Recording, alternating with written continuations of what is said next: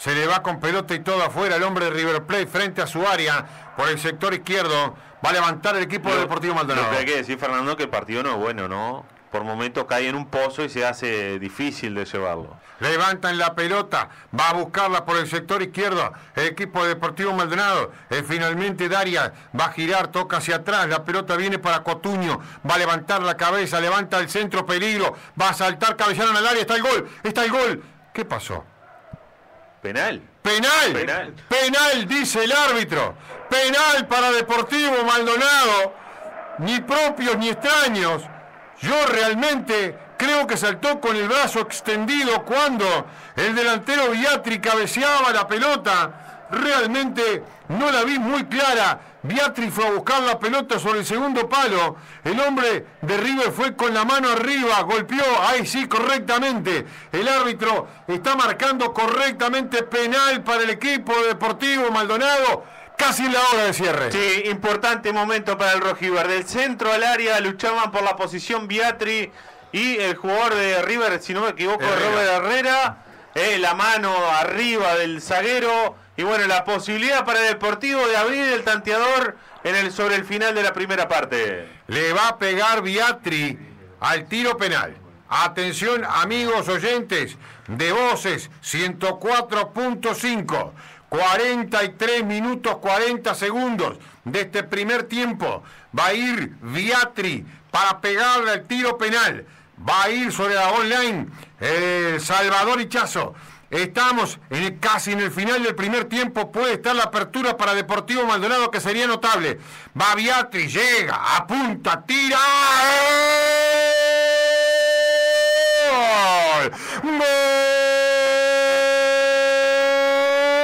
¡Gol de Deportivo Maldonado! ¡Gol de Deportivo Maldonado! La pelota fue sobre el parante derecho del goalkeeper que se tiró bien, pero era tan extrema, tan contra el palo que no pudo contenerla. La apertura del tanteador a los 44 minutos del primer tiempo. Lucas Beatri, autor del tanto. Y lo que estábamos esperando, lo que se deseaba hace mucho tiempo, se hizo desear, pero llegó, apareció Beatri. Bien rematado el penal por el argentino, abajo contra el, palo derecho hacia allí. Fue el arquero y Chazo nada pudo hacer importante para el rojiverde, para que le dé confianza, le dé tranquilidad. e irse ganando al final del primer tiempo.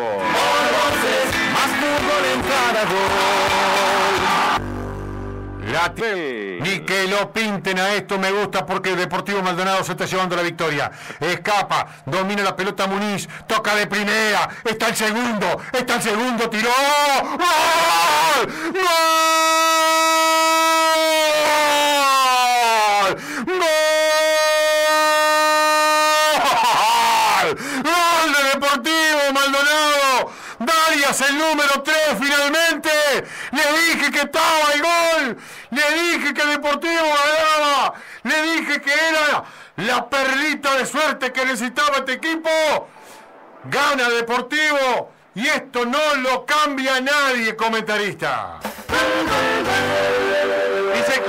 Maleficio y una tarde, un 25 de septiembre en el Saroldi Deportivo vuelve a la victoria, importantísimo triunfo para el equipo de Paladino, una contra notable, gran pase de Muniz, definición espectacular abajo contra el palo derecho de Darias, va a ganar de Deportivo Maldonado y bueno, para cerrar alguna boca, gran victoria del Rojiverde en el Saroldi. Más fútbol en cada gol. Ataca River, tiró gol. Hay gol de River, Arezo. Erró la pelota Varela. Despejó mal. Arezo convierte el descuento cuando ya tiempo cumplido.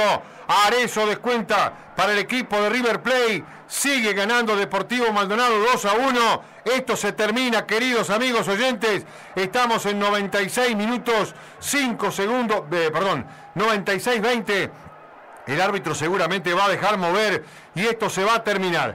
Le erró la pelota. Finalmente el jugador Varela quedó pagando y Arezo de pierna zurda colocó la pelota sobre el parante derecho del goalkeeper eh, Lerda del Deportivo Maldonado. Realmente estamos en un momento clave, porque el partido tiene que estar terminando. Exactamente, estamos en 51 minutos 48 segundos, hizo sonar su silbato el señor Andrés Matonte y Deportivo Maldonado ganó aquí en Montevideo dos goles a uno. Eh, pintó ese último gol una historia que no la vimos. Pero Deportivo Maldonado consigue un triunfo importantísimo. Tres puntos de oro para el equipo de Deportivo. En un partido muy bien planteado hoy, donde Deportivo hizo un, gran juego, eh, controló muy bien al equipo de Arcenero y lastimó en los momentos justos del juego. Eh, sobre el final de la primera parte y bueno, allí en los descuentos del segundo tiempo para sacar una ventaja 2 a 1 que termina allí sobre el final Larezo descontando pero importantísima victoria para Deportivo, que hace varias fechas no podía sumar de a tres, y hoy en el Zaroldi se le da la victoria. Eh, esto tiene que ser el comienzo de algo muy positivo para el equipo de Avenida España.